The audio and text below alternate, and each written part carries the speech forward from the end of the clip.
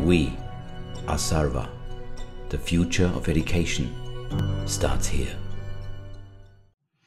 Hello and welcome to this episode of Everyday Genius uh, by Simply Conscious. I'm your host for today's show, Pete Craig, and today it's my great pleasure to welcome to the show um, someone who's created out of uh, out of a need that, that we'll discuss shortly, uh, but a social enterprise that has just grown and grown, and yeah, has seen him now like be featured in Time Magazine and uh, you know be appointed you know, to to several amazing you know, kind of initiatives to try and further um, further this cause.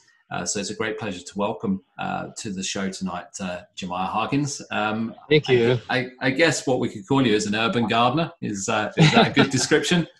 yeah, that's fair enough. Yeah. Cool, cool. So, Hopefully, soon enough, the uh, the title will expand into uh, to just general gardener, to where everything I touch cultivates. Yeah, absolutely, absolutely. Um, I mean, I, I just, before before we kind of like really dive in, I just want to like share a little bit about um, how I came uh, across you in the first place. And yeah, this was purely purely, I guess, by accident. A friend shared an article with um, uh, with me about uh, about this guy that had created this this movement in uh, in LA. And it was, uh, you know, it was kind of like transforming uh, communities and bringing people together, and you know, solving you know, some of the some of the food crisis and and bringing kind of good healthy nutrition back into into people's lives. Um, and it just struck a struck a real chord with me. And I thought you know that's someone who's um, who's living their purpose who's found who's found something that they're passionate about and so I reached out, and you know, you hadn't, funnily enough, you hadn't even seen the article. So you know that was you know, that, that, that was nice for you to see that someone else had written an article about you again. That's right. Um, yeah. You know, uh, and yeah, I think that's that's and the more I've the more we've kind of spoken, the more I've kind of found out about what it is that you do, the more fascinated I become with it, mm-hmm. and um, yeah, the more the more aware I become of how important you know, what it is that you're doing. Um, is in the world right now. Thank so, you. But but before we kind of like get into that, there's a couple of things, a couple of questions that I always love to ask at the beginning of these um, sure these podcasts. And the first one is, you know, what's what's alive in you right now? Hmm. Alive in me right now is a fight.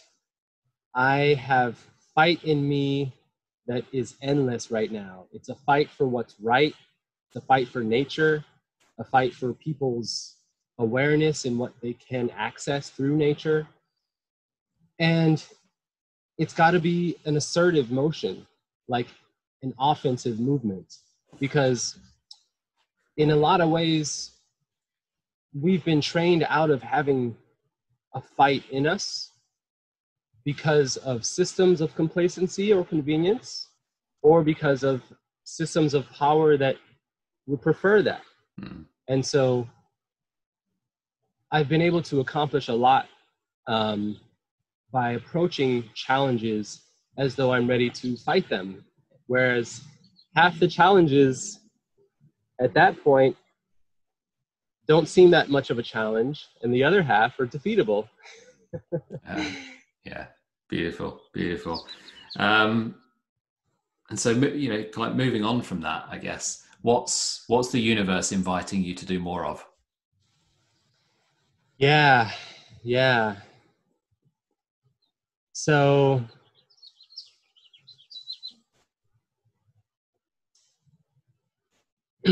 at the beginning of this journey there came a point when i realized when i gave something to the universe it would give it back to me in more than i would expect. Um, it would be in the form of you know food. Like I give someone an orange and they're like, give me three lemons. And I say, oh, wow, that's great. But it also was in terms of my efforts and my time, um, in terms of the focus and what I'm doing something in order to give or in order to take. Hmm. How often am I doing something to give? And it, how often am I getting a lot back? Um, so it's interesting because now recently, the universe has turned around and I've been needing to ask it to give back to me. in terms of opportunity, finance, um, you know, scope, scale, uh, personnel, um, you know, depth of impact and permanence of impact. Like I've been needing to know that all that I've given is able to actually manifest. So I'm actually asking the universe to, to give me more so that what I'm doing and what we as a team are doing can propagate even more so. Mm, beautiful. Yeah. And and we'll talk a little bit more about about that later. But from what you've shared with me already, you know, that's uh, that that's already flooding back in. You know, you're you're receiving confirmation of that on a on a daily basis. It seems. That's uh, true. Cool. So so why don't you why don't you collect just eh, tell us a little bit about you know, your mission, um, yeah, about collect Crop Swap LA, about um, the origins of it. You know, what what drove the, you know the, the start of it.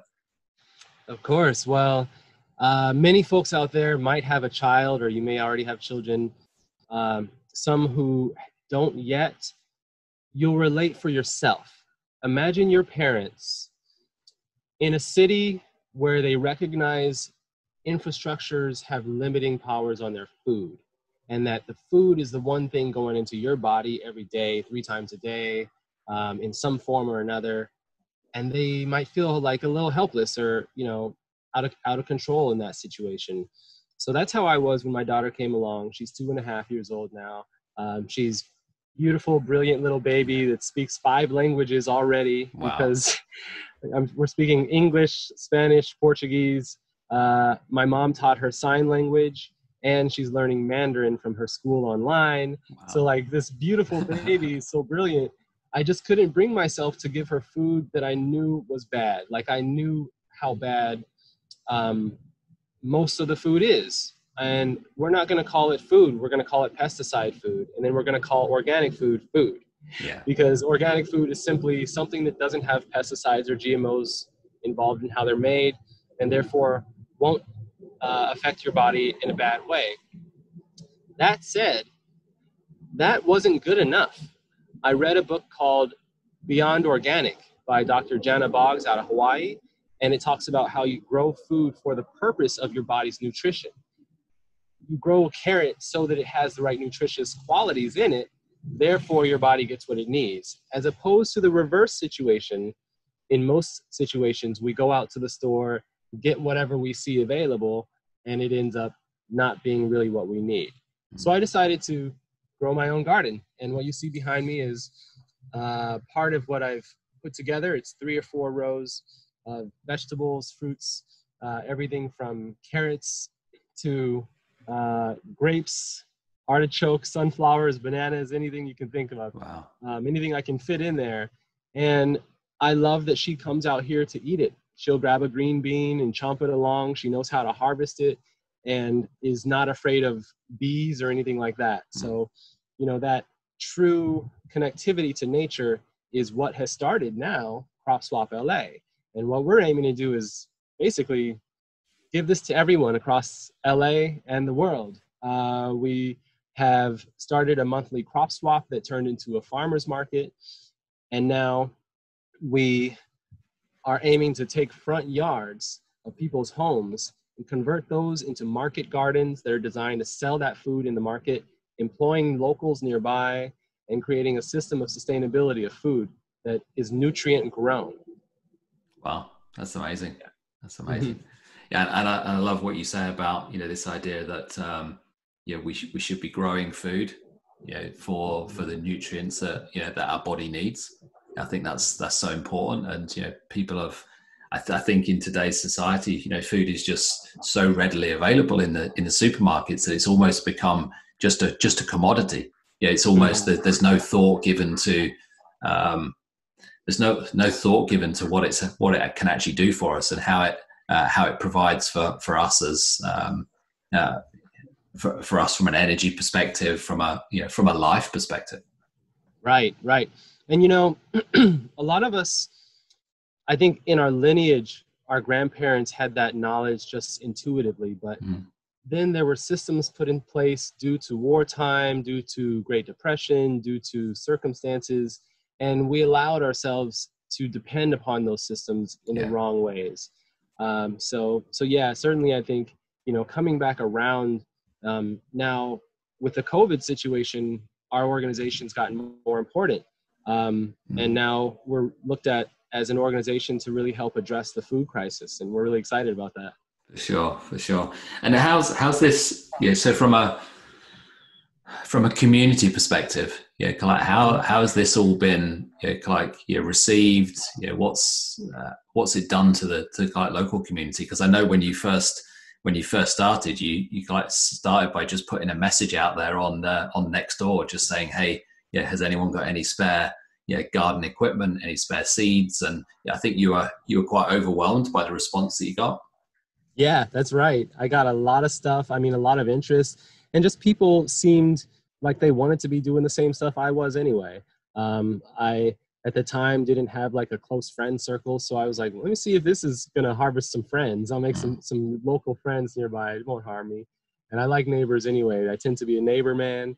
My dad was the kind of man who um, who would help anyone down the street carry a, a an injured child home or um, you know help someone fix their roof if they're in trouble. Hmm. Uh, so yeah, I've learned from from that community example. And it has created you know an awareness that there there wants to be more of that. Um, i have a sign out front for crop swap la we leave fruit out there and ask anyone to take what they wish. And it's fun to see them excited to grab extra fruit uh, taking selfies with the sign and just feeling like they can contribute to something. A lot of folks too if they have extra you know fruit in their backyards for their own trees uh, they call us over to harvest that. Uh, so they feel like they're giving something. Uh, we give it to organizations that are like serving recently homeless folks or organizations that serve single families, um, single parent families, those that are veterans, and it allows a kind of cohesion, like a like a nature-driven web of support. You know? Yeah, yeah.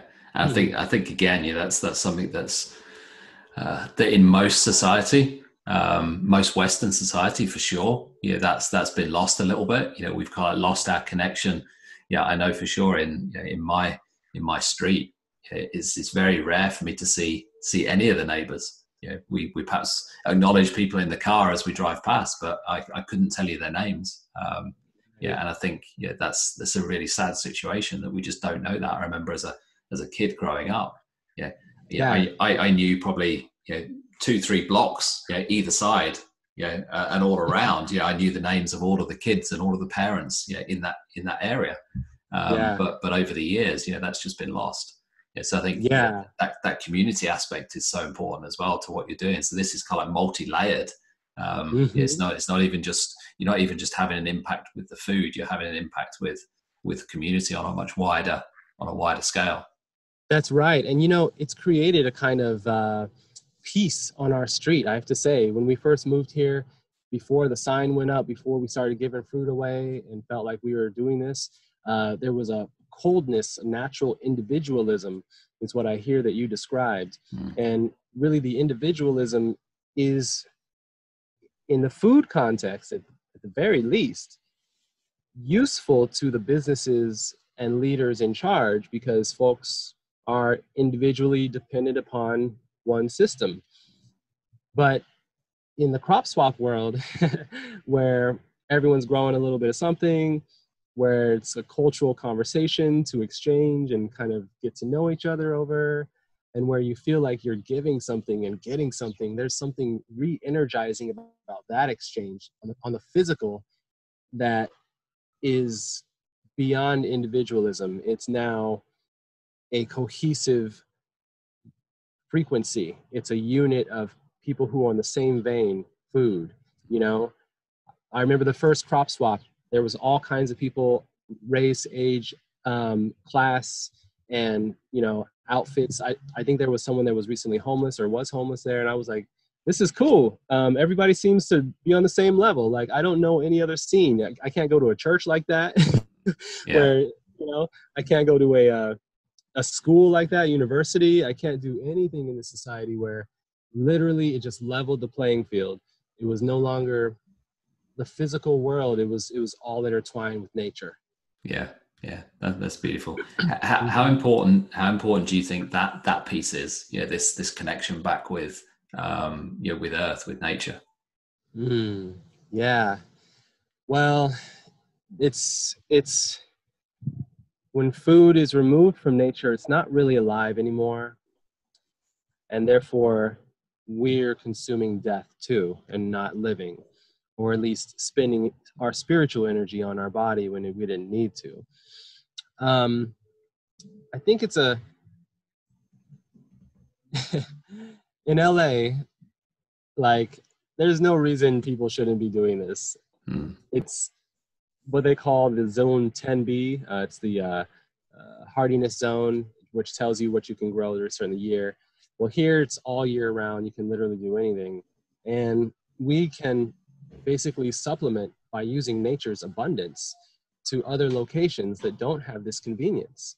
Um, it could be, you know, an even exchange. They ship water in if we need it. We ship food out if they need it. Yeah. Um, but in truth, you know, part of our movement is also about water retention. So truly, truly, we're just you know, leveraging nature to create solutions to economy, creating green jobs for people that are low income, new to the country, uh, single parent families, or uh, veteran families. We can create green jobs for those who are elderly, those who don't want to go to college because maybe that doesn't make sense anymore. You know, um, I want to create green jobs for those who are recently incarcerated uh, so that they know that they can rehabilitate and re-give to society while while not being feared for doing something really fantastic. Yeah. Um, so you know, nature is able to do that. Nature is able to protect us in the case of a situation where we have an earthquake in the next 10 seconds, there are five entryways to this whole LA area that could be shut off. Um, and that would take at least six months to be reopened. So, six months of scrounging for food, man, this city is going to go in fires and flames. Mm. So, really, this solution for Crop Swap LA and what we're trying to do is a sustainability necessity when you think about city planning.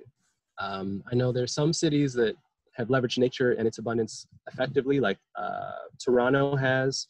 Um, I think Ontario's done a great job, and New York's made some. New York City's made some smart building code moves. But truly, you know, we have an opportunity in LA to take so many front yards and just make food. Let's do it. Let's do it sinfully. You know, let's let's do it so much that they're like, why do they make that much food? Um, because we can and we should, and there's a there's a need elsewhere. So nature gives mm-hmm. us that.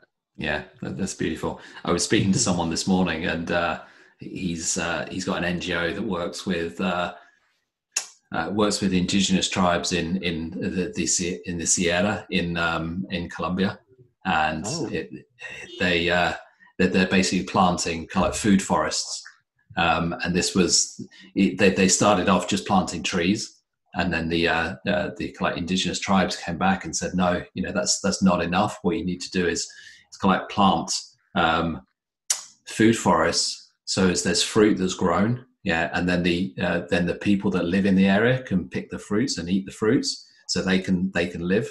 Uh, but then the fruits that aren't picked kind of like drop into the soil and and kind of like re re-fertilize the soil so as we've got this kind of you know, this this permaculture that's being created then. Yeah, I, th- I think that's just that's so so so relevant to you know, to kind of what you're talking about here. Yeah, that essentially this is you're you're creating kind of yeah, um, garden food forests.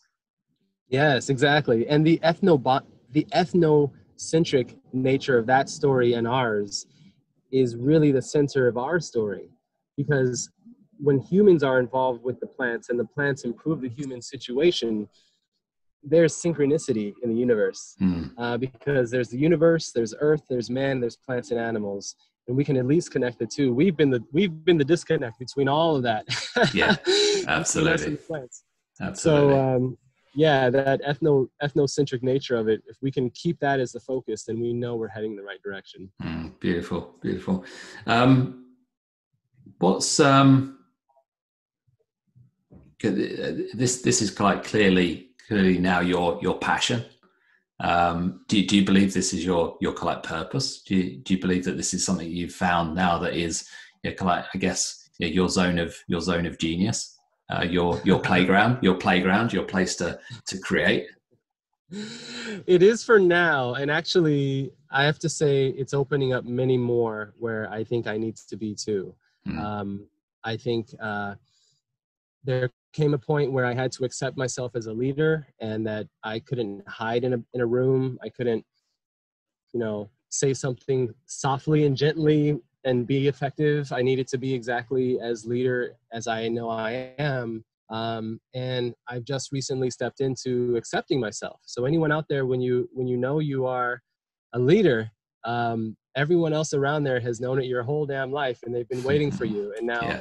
Once you step up into the, step, the spotlight finally that validation of like okay you're leading us in the right direction or you know it's it's benefiting us and you continually feed back and continue to benefit those people if that's the thing that makes you feel good then that's where you need to lead.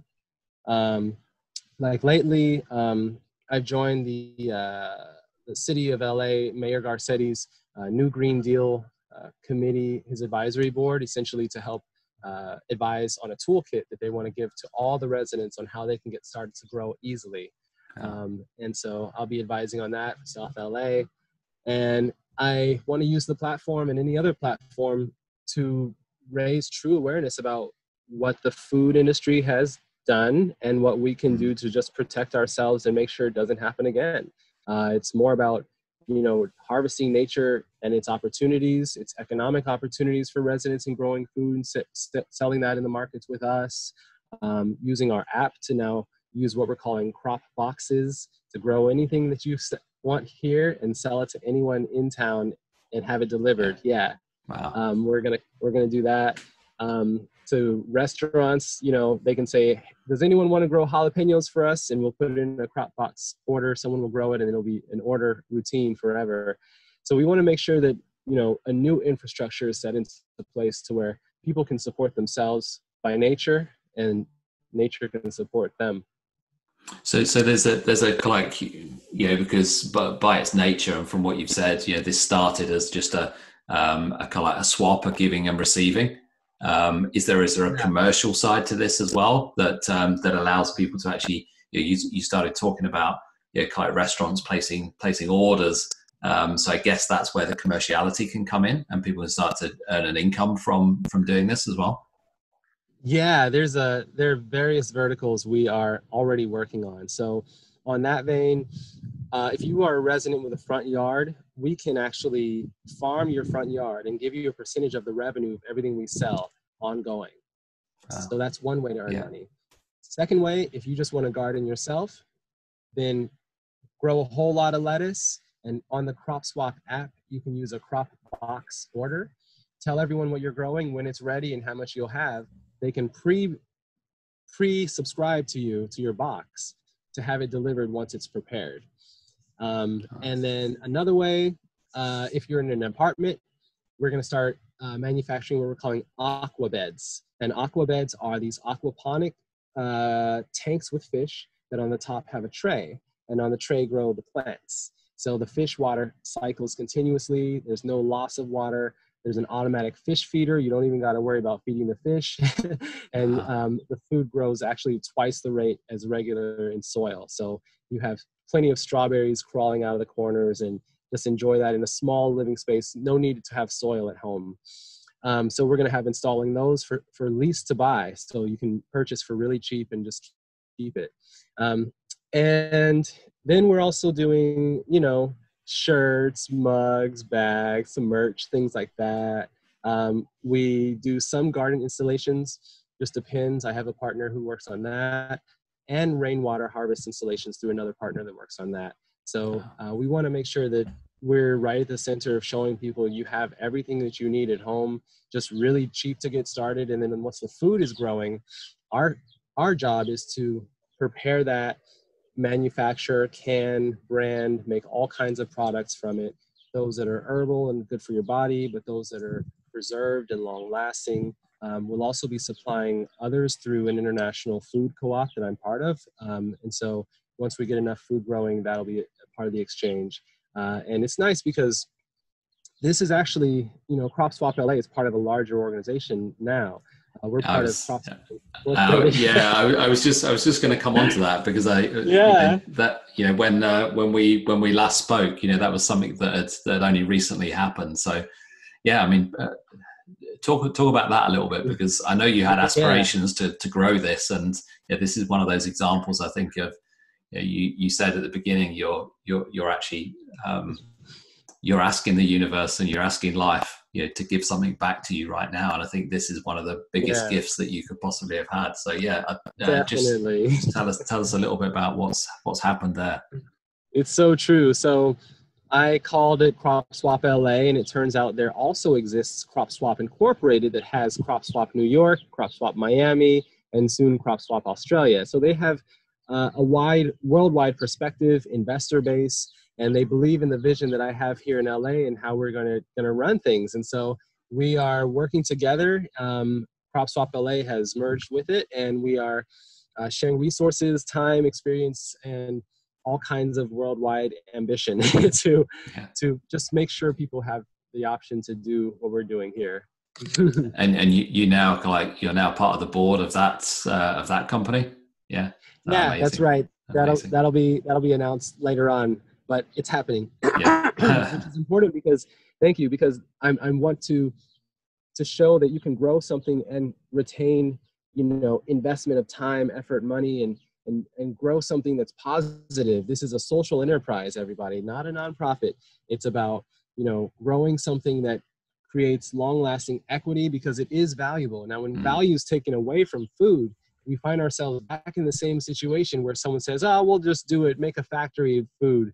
They'll eat it anyway and yeah. then value is removed. So we have to make sure that those that are doing this get paid. Yeah yeah for sure. And so, so and so now so now this is this is definitely something that you want to like expand and roll out yeah across across the world?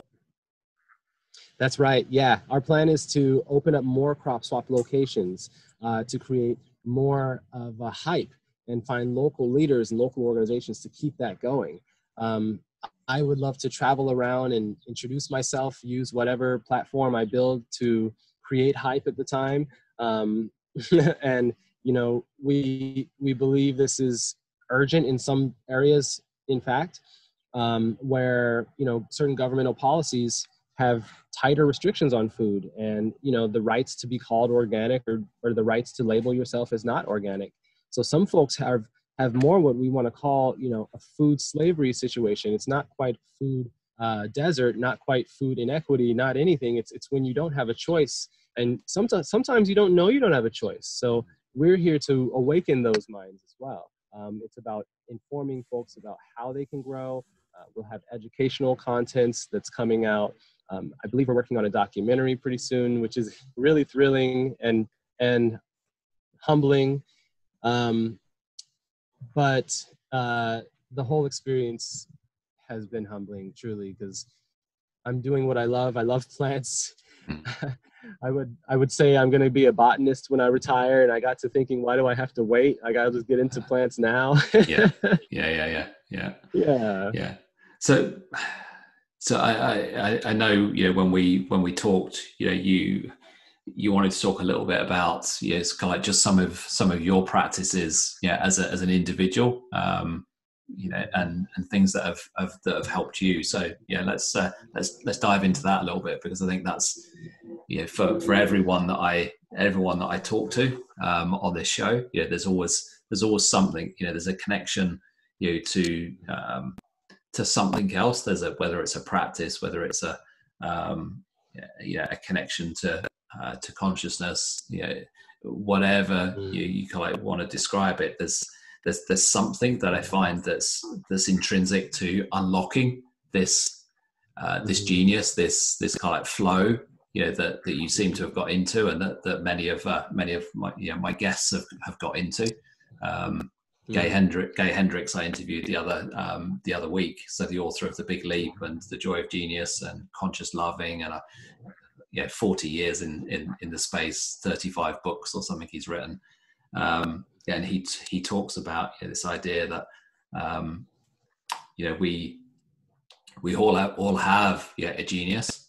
Um, mm-hmm. And that, mm-hmm. that genius is that space where we just know that what we're doing is the right thing and you know every moment and you know once we find it once we identify it you know that our our purpose then is to try and increase the percentage of time that we're spending in that in that zone.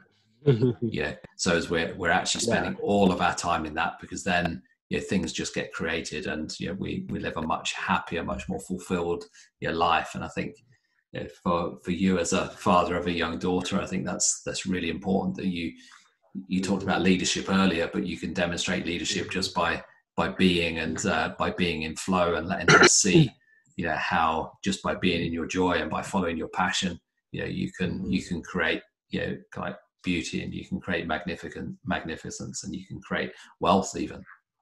Yes. That's a great that's a great sequence and you're so right about that. And living that example sometimes we need to live that example for ourselves also. Mm. that was that was my transition. I had this daughter looking at me saying why are you unhappy doing the job you have? Why are you unhappy xyz why aren't you out there in the plants you know? Like she knew.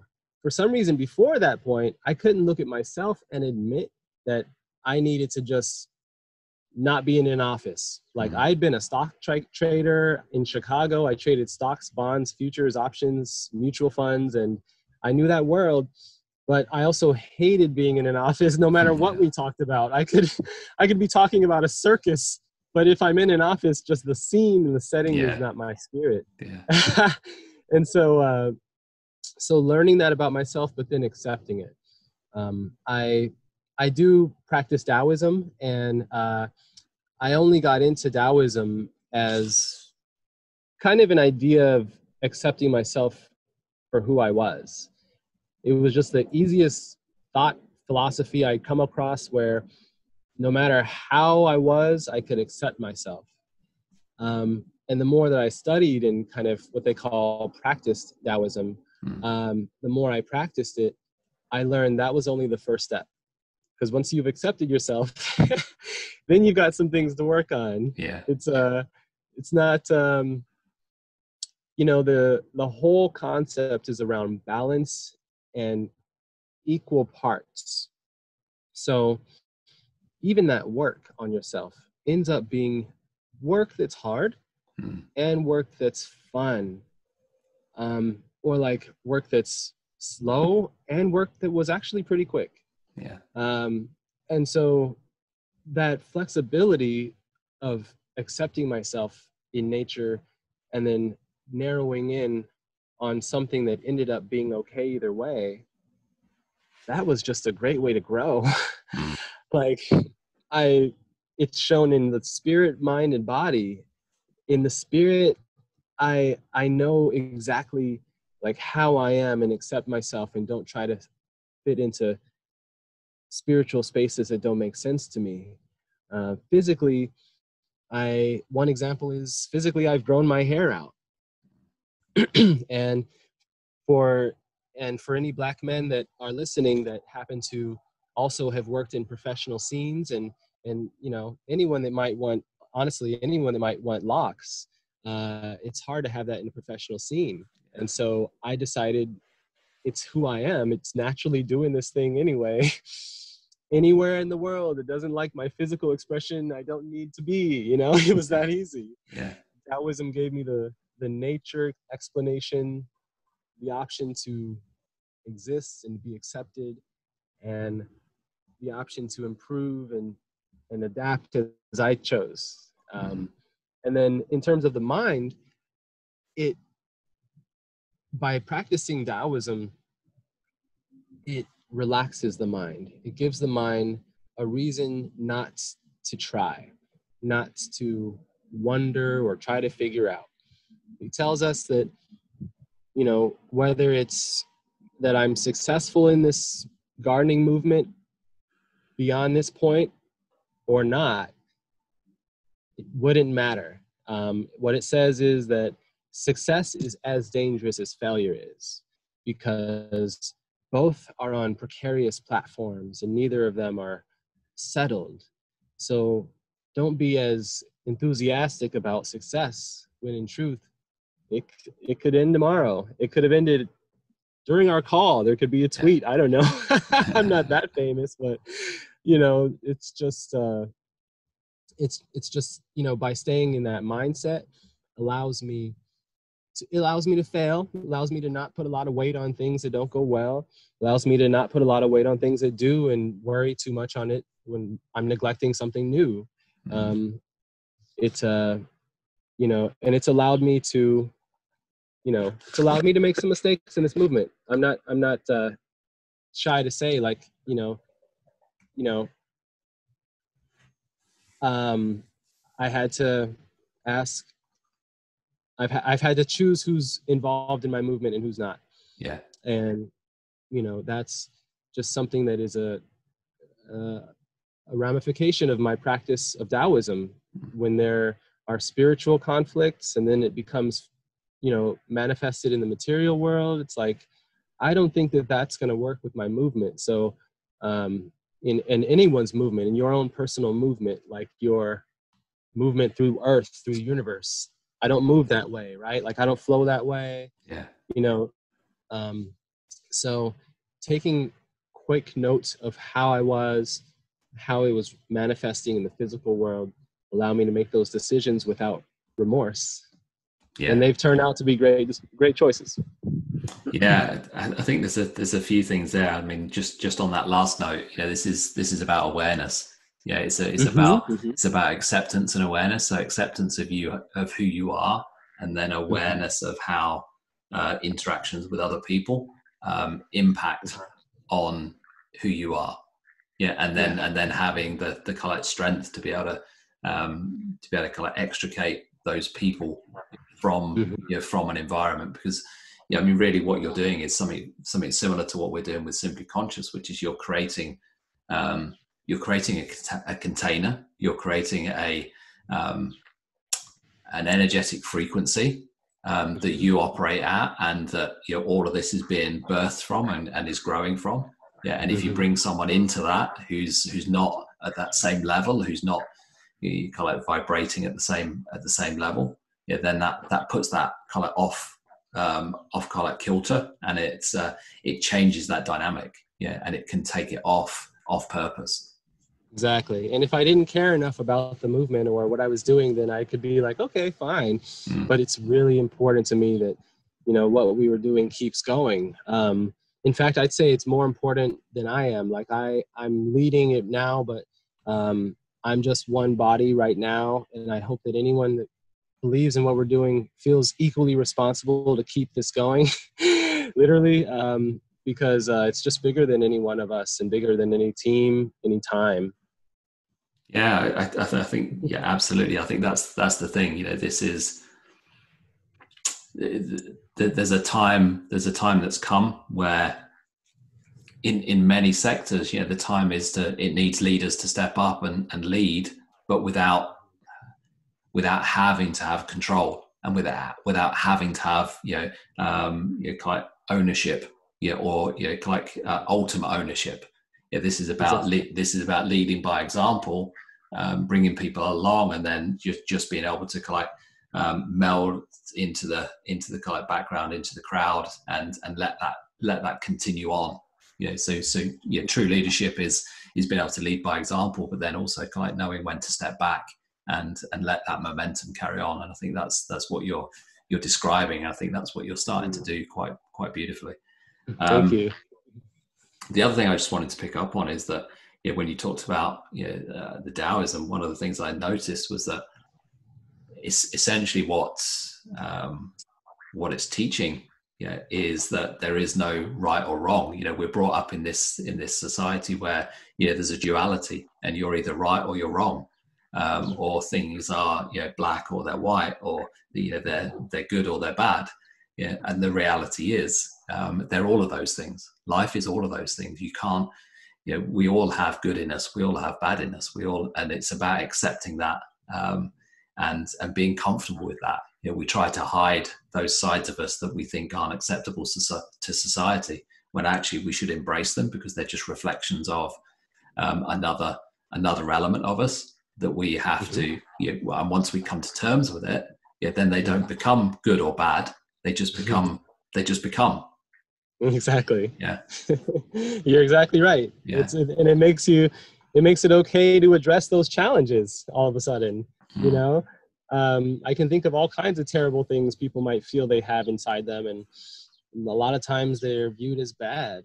Um, but you know, if they weren't viewed as bad, maybe they could be dug into a little more. You kind of figure out, really, it's just that one thing or that one perception I had had, which doesn't doesn't matter anymore. You know, I'm above the whole thing now. You know, Yeah. people can just dig into it. Mm. yeah yeah yeah for sure for sure how do you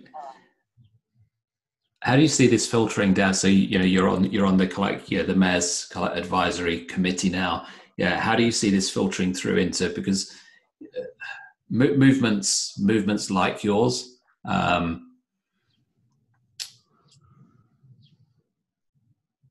need uh, they need longevity um, yeah and it and it's great for you know for for us as like adults to be moving that forward um, but actually the future is is with the children uh, the future is with the next generation yeah, so Mhm. how, how do you uh, how do you ensure that you know what you're creating now kind of like filters through and is uh, is adopted by um, yeah, by by that next generation so it's actually rather than yeah, them growing up um, and just treating food yeah, in the same way that perhaps we've we've grown up to, um, or we've we've been led led down uh, you know a certain path. How, how do you ensure that this is continued on?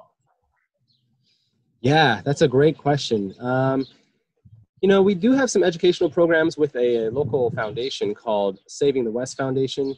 And once things kick up again, uh, we plan to launch those again. But, you know, really it happens to be in the house. It has to be in the house. They'll learn right away if there's a garden on site, they'll want to play into it. So we're hoping to put enough gardens around LA and just make them so ubiquitous that kids won't be able to feel like like without them. Um, there's also a significant air quality improvement. Uh, we'll achieve eight whole percentage points of our UN development goal, uh, air quality improvement uh, for elimination of greenhouse gases by installing uh, gardens in front yards. I think about one in eight garden would achieve an 8% gain on that goal. So we can achieve like international standard goals, uh, we can achieve city level goals, uh, state level, and just within the family, like all the units, all the fractal kind of figures of, of achievement. Also, it extends through to other social goals um, and with kids. So, diabetes is a big issue with kids. That's the reason that that kids go to doctors for most reasons. And diabetes is becoming uh, even more prominent. And all that is is overeating of sugar. Like they're eating garbage. Yeah. So if we you know really want to get at all these health concerns if we actually do want to like i'm not talking about we healthcare companies because i'm not talking about them we have a different incentive. Uh, i'm talking about we the people want to get to the healthcare issues then uh, we need to uh, build build gardens feed kids the right kinds of fructose and sugar that come from natural foods and they'll they'll reject the garbage by the time they're teenagers. They won't understand why anyone outside la would ever eat it. Yeah, yeah. I, I think I think that's that's so important. I think, uh, yeah, you you're you're right. If if you can put the gardens into the into the households, yeah, then the kid kids' very nature, yeah, is to they're they're far more connected um, until they until they get until they get older, until they get you know uh, conditioned. You know, they're far more connected with nature than you know, than, than we are. And I think you're right. You know, just just by putting them into putting gardens into homes and yeah, uh, encouraging kids to do exactly like you said your your daughter's doing, you know, coming out and, and picking the fruit, harvesting the fruits, and not being afraid of you know the kind of the bees, the dragonflies, the you know, the wasps, whatever it is that's that are out there, and just accepting them as part of um, you know, part of you know, Earth and part of you know, our um, uh, our ecosystem. Yeah, I think, I think yeah. you're absolutely right. That's it. Almost needs no no education because they they just they live into it. Yes, yes, they live into it. And they live into it the whole life. So, yes, out here playing, but then what she takes from here goes to the kitchen. So she's talking about it as she cuts it up, you know, she's eating it. Then later on, even at two and a half, she already has the cognizance to ask me, could you grow oatmeal? And I said, you know, I think I can grow oatmeal. yeah. so she's already figured out the whole cycle and has the, the independence, like the natural willingness, like the the entitlement that nature gives us all. Mm. She's entitled by nature to grow anything she can imagine. And she's only two and a half. So, like, we should be entitled to grow our medicine, our shoes, whatever it takes to make shoes, grow that, you know, just anything, our clothes. Um, and uh, so, like, that's the kind of confidence that I want to instill in her her whole life. I'm glad that nature, my, my experience with this can start it off because now I'm like, man, I want her to feel like she can use nature any way she wishes. Yeah. Yeah. That's, that's beautiful.